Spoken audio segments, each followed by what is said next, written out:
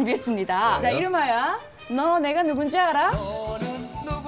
김유정이 말한 동백꽃을 제대로 그려놓은 표지는 과연 두 개의 사진 중 벚꽃은 무엇일까요? 어, 제작진 야속해. 너무 야속해요. 누구냐 너? 나와주세요.